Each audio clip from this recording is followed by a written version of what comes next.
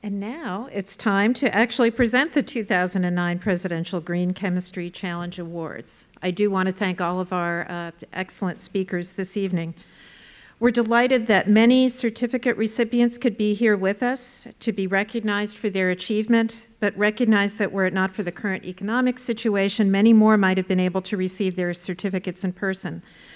I'm happy to be celebrating this year's winning technologies with those who are here and hope that you will convey the spirit of tonight's celebration to those of your colleagues who were not able to attend. This year's winners are important because it's just these sorts of technologies that will help create the green economy that's vital to leading us out of our current economic difficulties and further towards sustainability. The first presentation is the award in the academic category.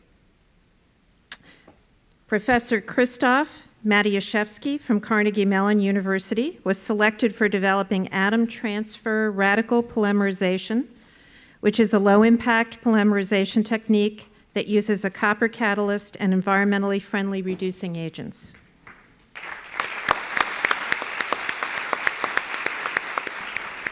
And certificates are presented to the following additional team members who are here with us today from Carnegie Mellon University. Hongchen Dong.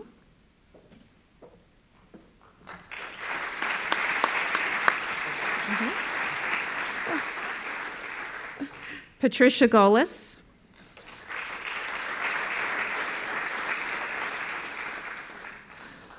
Wojciech Jakubowski.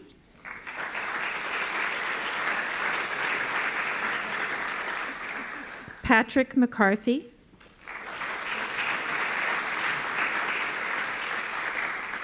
Richard McCullough.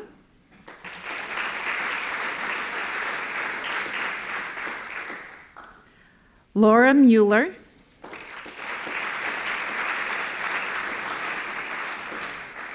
Hyunjong Paik.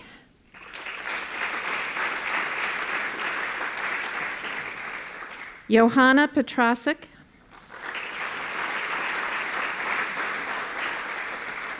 James Spanswick.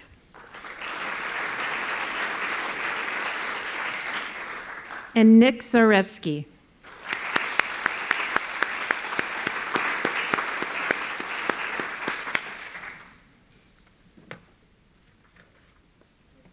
Okay. Thank you very much.